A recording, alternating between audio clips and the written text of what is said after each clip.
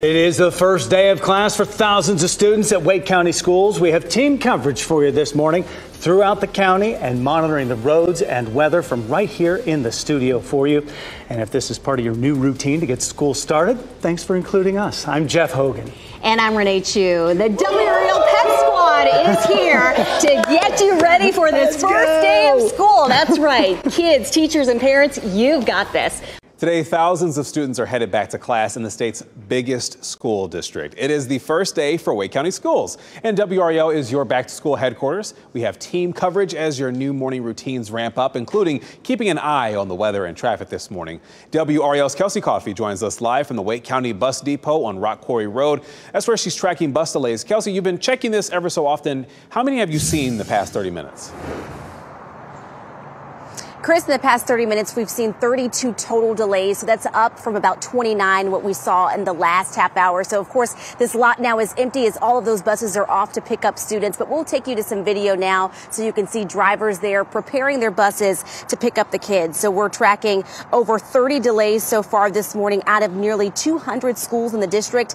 The latest delays we're seeing are an hour behind schedule. That's for two different routes that are headed to Millbrook High School.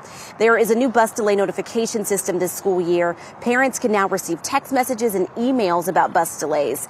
You can also still go to the district's website for updates. So we'll be sure to keep tracking these bus delays throughout the morning. Kelsey Coffey, WRAL News, live in Raleigh. And this year, Wake County is rolling out new policies aimed at making sure that students are safe, fed, and that teachers are being fairly paid for their work. WRAL's Laura Levine is live at Green Magnet Elementary School. And Laura, the district has a new system that they hope will help with student safety, which is so important. Absolutely. Good morning, Michelle. And we are beginning to see students arrive here at Green Magnet Elementary School. But in the next 10 to 15 minutes is really when we're going to see the buses and vehicles rolling in here to welcome back those students. Some good news to report. They'll have more educators inside school buildings like this one in Wake County Public Schools. The district says school vacancies are down. 253 teaching positions are vacant. That's 59 less than at the start of last year. Wake School employees will also see bigger paychecks this year as pay raises are in effect.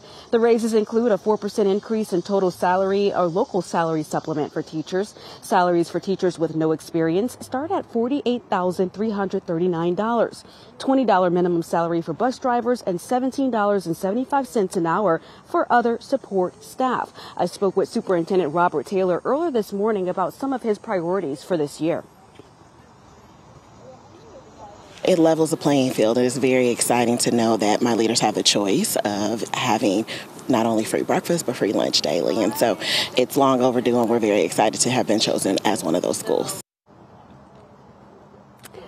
and that is the principal of Green Magnet Elementary School. This school is one of dozens that was qualified for a program for free meals. So many people excited about providing free breakfast and lunch to students. Laura Levine, WRAL News, live in Raleigh.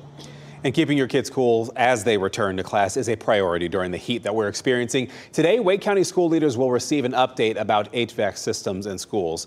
Wake schools closed more than 40 times in the past year because of failing HVAC systems. And some areas of concern being addressed today are the age of these systems and staffing.